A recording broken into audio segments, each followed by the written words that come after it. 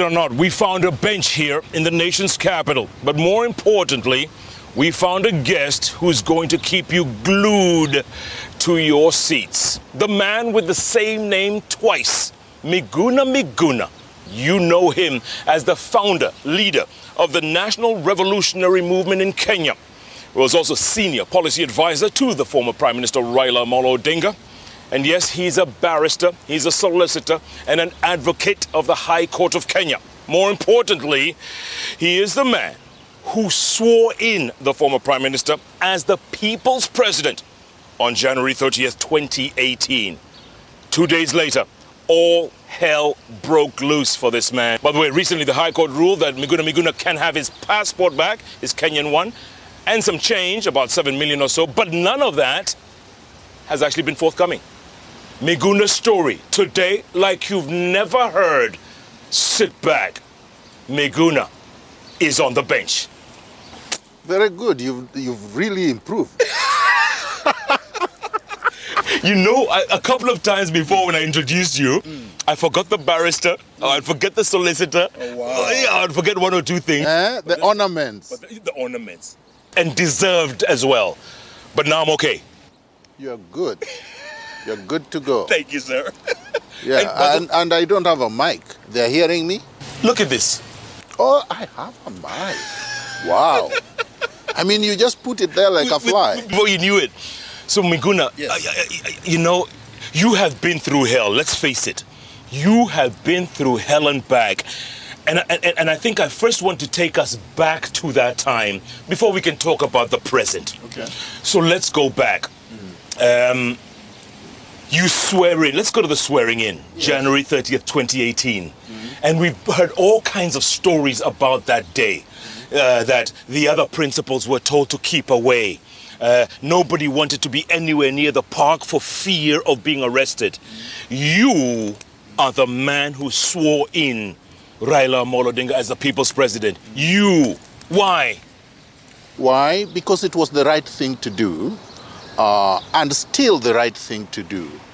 We had a fraudulent election on August 8th, uh, 2017. It is indisputable. It's a fact because the, the Supreme Court found uh, it to be so.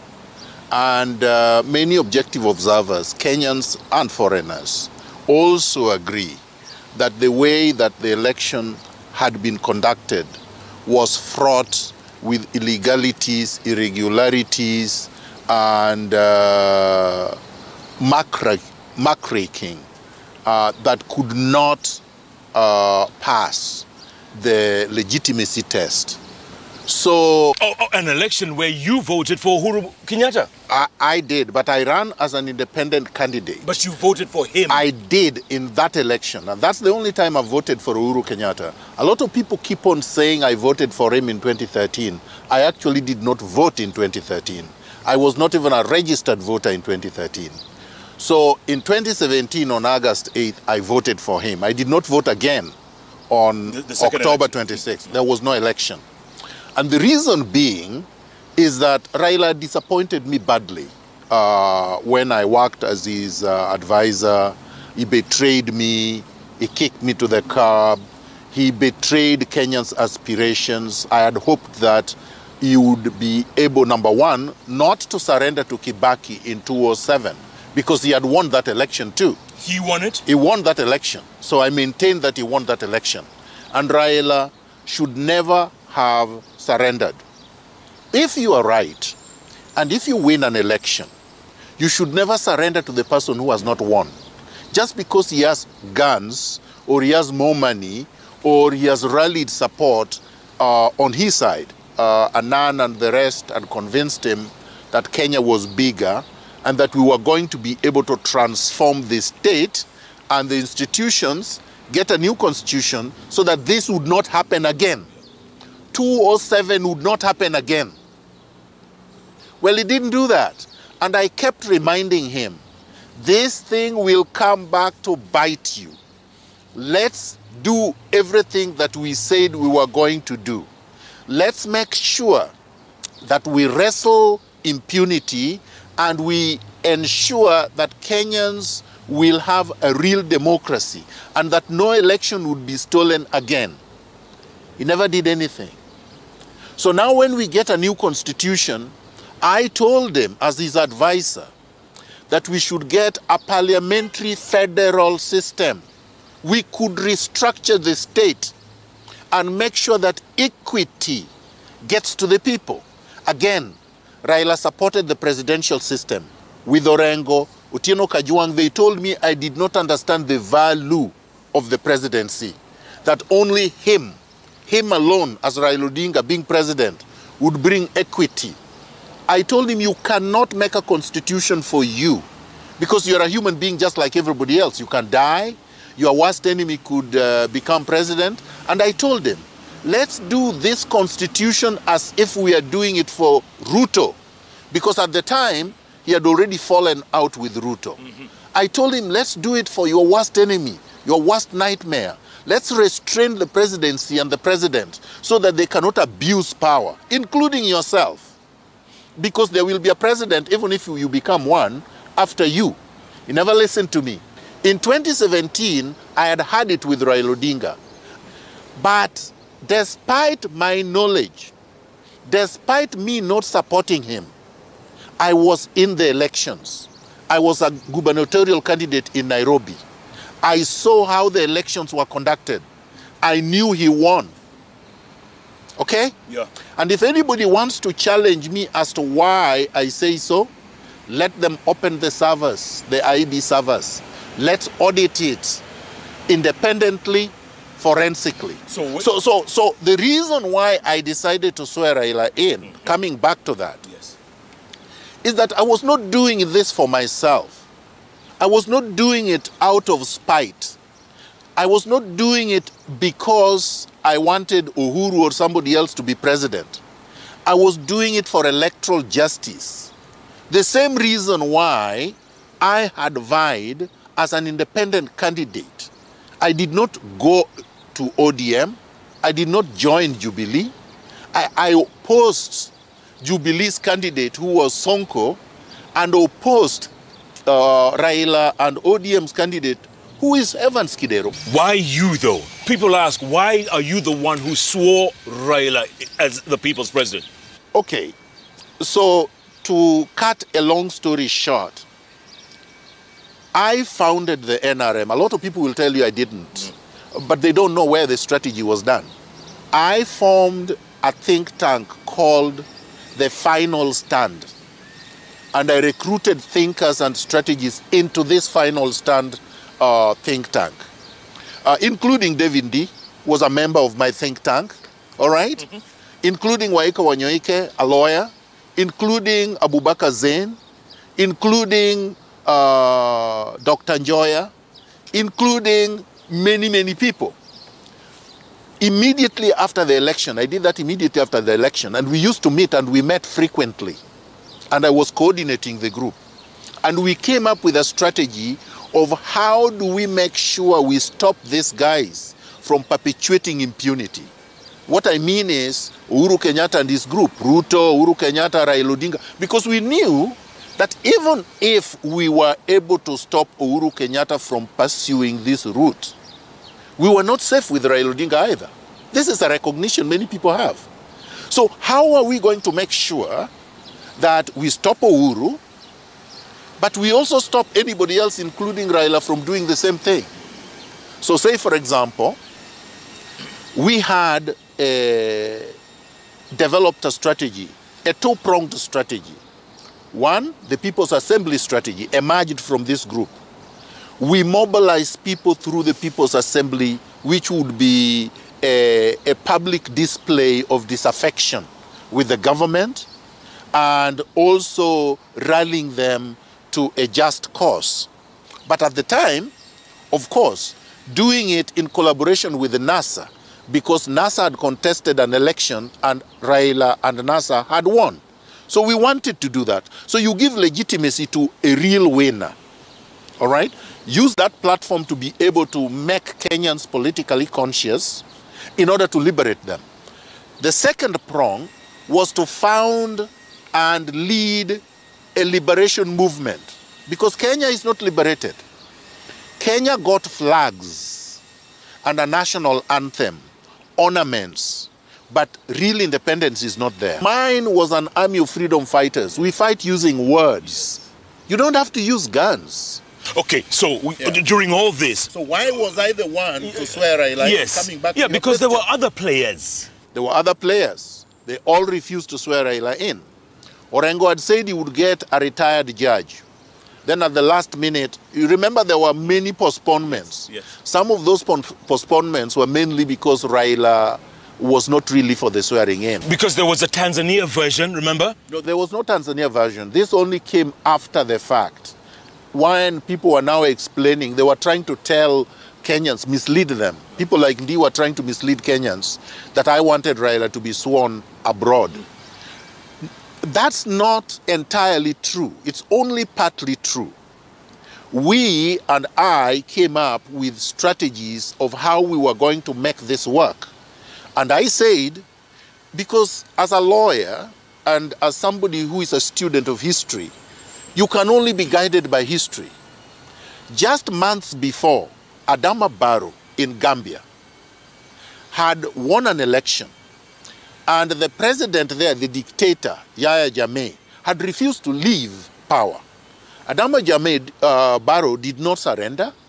He went to Senegal, he mobilized the international community, he got sworn in uh, in Gambian embassy in uh, Senegal, Dakar.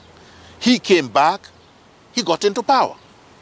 Ouattara in Cote d'Ivoire, who is supposed to be Raila's uh, president, got into power by refusing to concede to the Gbagbo. Gbagbo because Gbagbo refused. He got himself into a resort, said that was his headquarters, and started fighting for what he believed was just. And he's now the president, now twice. So I told Raila, there is no reason why, if we can't have you sworn in in Kenya, we cannot go to Tanzania. You say that Magufuli is your best friend. And you also say Akufo-Addo, or the president of Ghana, is your best friend. Talk to them let's see if they can accommodate us. Because between having hundreds of thousands or thousands of people being killed in Nairobi, if that was going to be, and having you sworn in a neighboring country or another country, we would rather do that. I also advised him to form his cabinet and send representatives to the UN, to the AU, try to mobilize and rally the world community. That's how you get power. You don't get power by sitting in Nairobi and holding press conferences. So if he are doing that. So I told him that we can also do it in Kenya. We can do it at Uhuru Park. We can do it at any other place other than Uhuru Park. But provided that we have hundreds of, of hundreds of thousands of people to a million or more, because you cannot shoot a million people. So eventually they decided that we were going to do it in Nairobi. All right? Yeah. But when he approached people to swear him in, he told me himself. They refused. So he told me, you know, this was the fourth swearing in. The first swearing in was supposed to take place privately in Jimmy Wanjigi's house. All right? You, you- you mean recorded?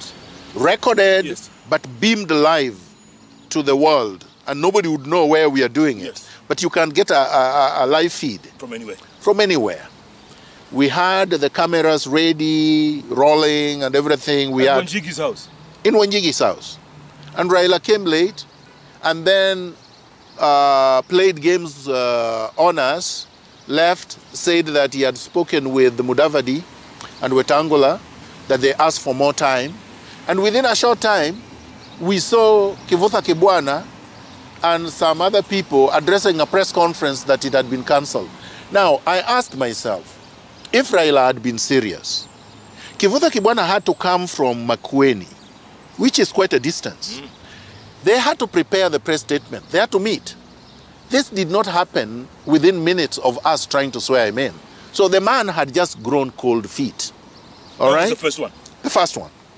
The second one was Mombasa. Raila calls me that uh, the People's Assembly in Kilifi. I was in my house, and he says that uh, Orengo told him that um, I had given up. I decided not to. I said, no, Orengo never told me that. He never asked me to come to Kilifi. Nobody invited me, nobody told me anything. So I didn't even know you were going to Kilifi. I knew there was a People's Assembly in Kilifi, but I'd been to the one in Vihiga, I'd been to the one in Kakamega, I'd been to other, uh, other People's Assembly. I didn't have to attend every single one of them. And uh, so he says, I want you to come here and swear me here. Because people, particularly the women, are wild. They want me sworn in now. So I say, well, then you have to book immediately, and uh, because otherwise I wouldn't make it. That was around 10 o'clock. So by the time we finished, I changed and uh, took a taxi. And by the time I reached the CBD, he tells me to go to Wilson. That a guy called Jeff, who is his, uh, uh, one of his guys who does the bookings, mm -hmm. had booked a flight for me from uh, Wilson. So I went to Wilson. And when I reached uh, Mombasa, he sent his driver to pick me up. I could tell right away that the security apparatus were all over the place watching me. They locked the roads. I couldn't move right from the airport. We had to make detours through the port and Kichorochoros until we reached Mtwapa.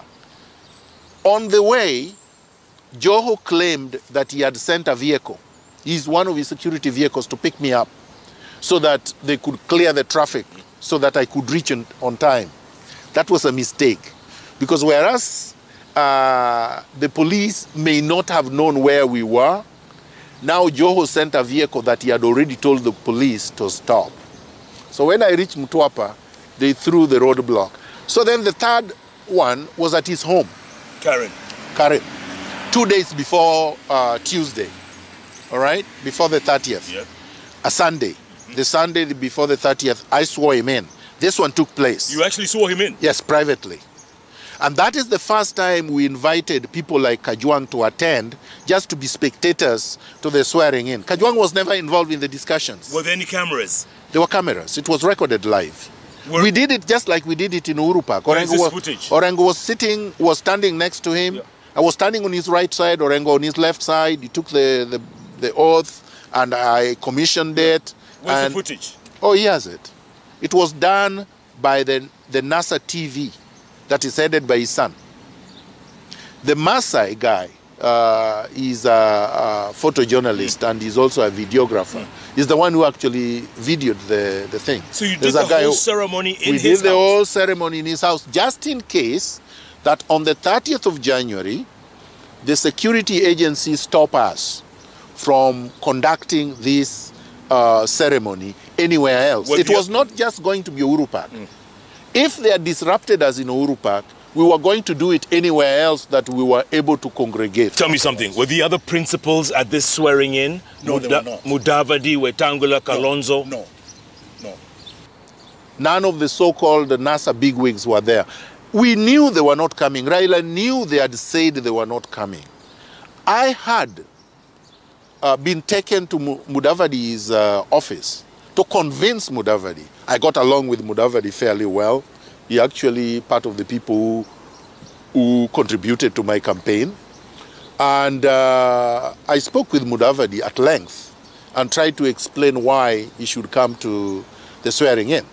And Mudavadi's last words were that, you know, Miguna, I'm a conservative and I believe in the system.